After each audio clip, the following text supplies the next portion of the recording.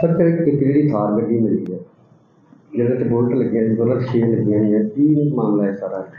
ਇੱਕ ਨਾ ਜੀ, ਸਾਨੂੰ ਕੋਈ 8:30 ਦੇ ਕਰੀਬ ਇੱਕ ਇਨਫੋਰਮੇਸ਼ਨ ਮਿਲੀ ਹੈ ਕਿ ਜਾਂਗਲਾ ਰੋਡ ਤੇ ਦਸੂਏ ਆਪਣਾ, ਦਸੂਏ ਤੋਂ ਥੋੜਾ ਜਿਹਾ ਆਪਣਾ ਅੱਗੇ ਜਾਂਗਲਾ ਰੋਡ ਪੈਂਦਾ।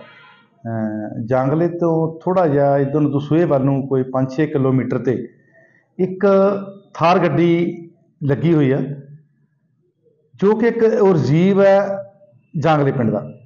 ਉੱਥੇ ਦਾ ਉਹ ਪਹਿਲਵਾਨ ਆ, ਕਾਫੀ ਆਪਣਾ ਫੇਮਸ ਪਹਿਲਵਾਨ ਆ, ਉਹਦੀ ਉਹ ਗੱਡੀ ਆ। ਉਹਦੇ, ਉਹਦਾ ਭਰਾ ਤੇ ਇੱਕ ਉਹਦਾ ਕੋਚ ਉਹ ਦੁੱਧ ਪਾਉਣ ਆ ਰਹੇ ਸੀ, ਉਹ ਕਹਿੰਦੇ ਵੀ ਅਸੀਂ ਦੇਖੀ ਵੀ ਸਾਡੀ ਜਿਹੜੀ ਗੱਡੀ ਆ, ਆਪਣੇ, ਸਾਡੇ ਭਲਵਾਨ ਦੀ ਗੱਡੀ ਇੱਥੇ ਖੜੀ ਹੋਈ ਹੈ ਤੇ ਵਿੱਚ ਗੋਲੀਆਂ ਵੱਜੀਆਂ ਹੋਈਆਂ। ਜਿਹਦੇ ਸੰਬੰਧ ਵਿੱਚ ਸਾਨੂੰ ਇਨਫੋਰਮੇਸ਼ਨ ਮਿਲੀ।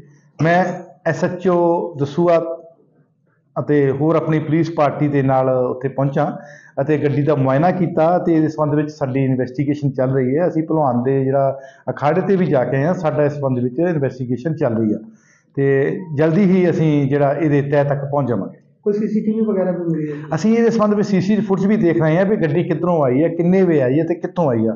ਅਸੀਂ ਹਰ ਇੱਕ ਐਂਗਲ ਤੋਂ ਜਿਹੜੀ ਇਹਦੀ ਇਨਵੈਸਟੀਗੇਸ਼ਨ ਕਰ ਰਹੇ ਹਾਂ। ਆਫਟਰ ਇਨਵੈਸਟੀਗੇਸ਼ਨ ਅਸੀਂ ਜਿਹੜਾ ਉਹ ਸਭ ਕੁਝ ਕਹਿ ਸਕਦੇ ਹਾਂ ਕਿ ਕਾਰਨ ਕੀ ਹੋਇਆ ਤੇ ਕਿਉਂ? ਸਰ, ਜਿਸ ਤਰ੍ਹਾਂ ਗੱਡੀ ਉੱਤੇ ਬੁਲਟ ਲੱਗੇ, ਕੋਈ ਲੱਗਦਾ ਕਿ ਗੈਂਗਵਾਰ ਦਾ ਵੀ ਕੋਈ ਇਦਾਂ ਹੋ ਸਕਦਾ? ਹੈ ਇਹਦੇ ਸੰਬੰਧ ਵਿੱਚ ਸਾਡੀ ਜਿਹੜੀ ਇਨਵੈਸਟੀਗੇਸ਼ਨ ਚੱਲ ਰਹੀ ਆ, ਜਿਸ ਜਿਸ ਤਰ੍ਹਾਂ ਆਪਣਾ ਕੋਈ, ਆਪਣਾ ਸਾਨੂੰ ਕੋਈ ਪਤਾ ਲੱਗਦਾ ਜਾਏਗਾ, ਉਸ ਤਰ੍ਹਾਂ ਅਸੀਂ ਜਿਹੜਾ ਇਹਨੂੰ ਡਿਸਕਲੋਜ਼ ਕਰਦੇ ਜਾਵਾਂਗੇ।